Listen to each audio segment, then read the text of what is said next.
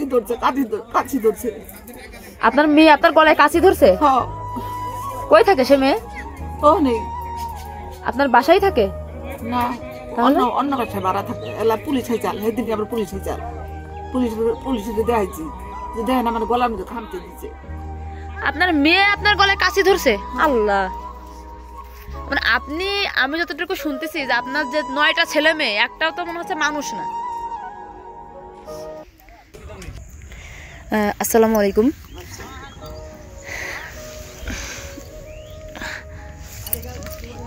আপনারা যাকে দেখতে পাচ্ছেন আমার সামনে যে চাচি উনার বাসা হচ্ছে চাচি আপনার বাসা কোথায়?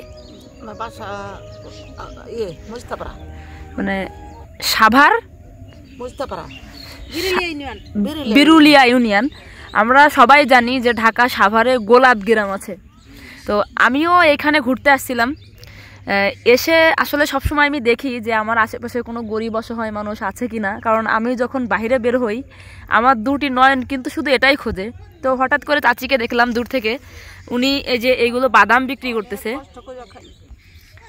তো যাই হোক আমি ওনার সাথে গল্প করলাম চাচি আপনার ছেলে মেয়ে আছে কিনা বা আপনি কি করেন? সব কিছু জানলাম। তো চাচির সাতটা ছেলে মেয়ে।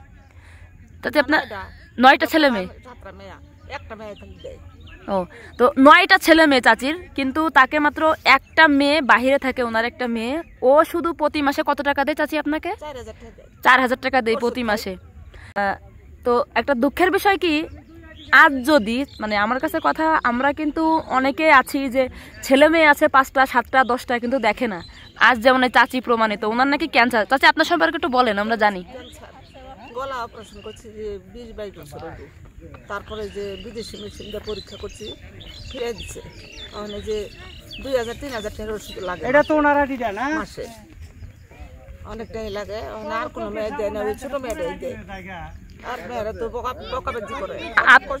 আ- আপনারা তো আপনার আপনি তো আপনার ছেলেদের সাথে থাকেন না। একলা থাকেন? ও মানুষের ঘরে থাকেন? জায়গাও নাই। মানুষের ঘরে থাকেন? ও, আচ্ছা।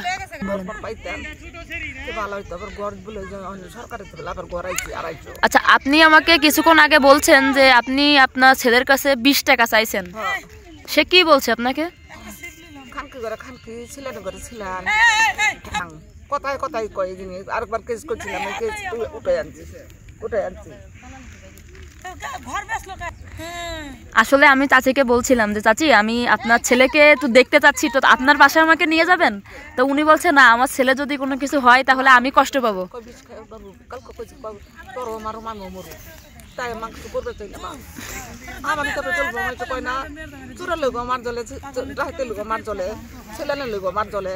আপনি যেমন আপনার ছেলেকে ভালোবাসেন আপনার ছেলে কি আপনাকে এভাবে ভালোবাসে? না। তাহলে আপনার ছেলের জন্য আপনারা তো পড়ে কেন? করুম বিক্রি চললে কি করুম মা কও। আমি সে কয় না যে মা কইছে কারে মার তো দেখতে লিগে জলে আপনার জন্য কি সমস্যা বললেন? গলায় ক্যান্সার লিভার নষ্ট এই ছাপড়ি আড্ডিক হয় গাড়ের আড্ডিক হয় কিডনিও নষ্ট। মানে মেডিকেল তো ভিড়েই দিছে। মানে ওষুধ খাওয়ার লাগে তিন হাজার চার হাজার টাকা লাগে।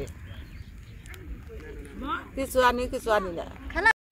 তো যাই হোক সাইডে বৃষ্টি হচ্ছে যার কারণে আসলে ওনাকে এখানে আমি নিয়ে আসছি ওনার সাথে কথা বলার জন্য।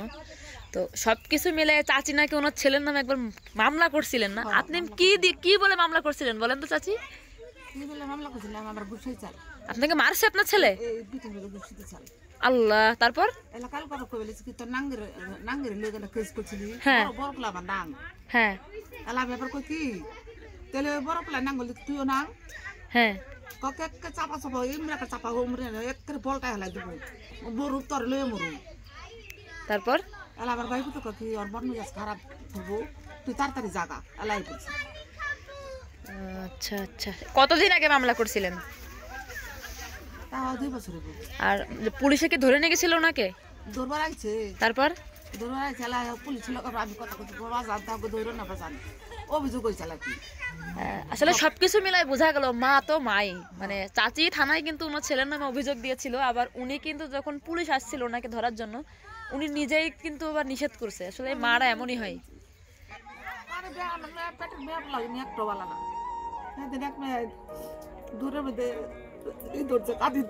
ধরছে আপনার মেয়ে আপনার গলায় কাছি ধরছে? হ। কই থাকে সে মেয়ে? ও নেই। আপনার বাসায় থাকে? না অন্য অন্য কাছে ভাড়া থাকে। এলা পুলিশ হয়ে চাল সেদিনকে আমরা পুলিশ হয়ে চাল পুলিশ পুলিশের দেখাইছি। যে দেখেন আমার গলার মধ্যে খামতে দিচ্ছে আপনার মেয়ে আপনার গলায় কাশি ধরছে? আল্লাহ। মানে আপনি আমি যতটুকু শুনতেছি যে আপনার যে নয়টা ছেলে মেয়ে একটাও তো মনে হচ্ছে মানুষ না। কাঁদবেন না।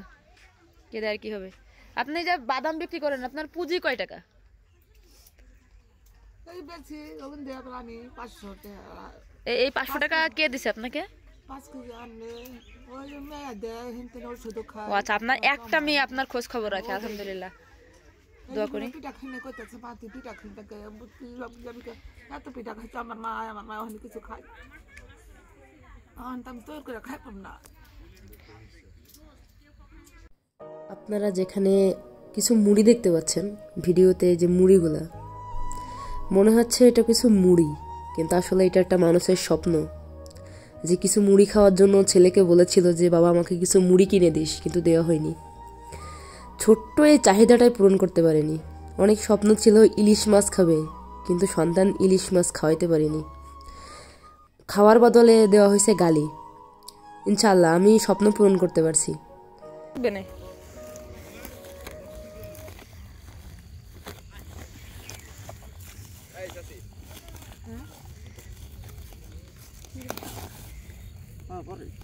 হ্যাঁ?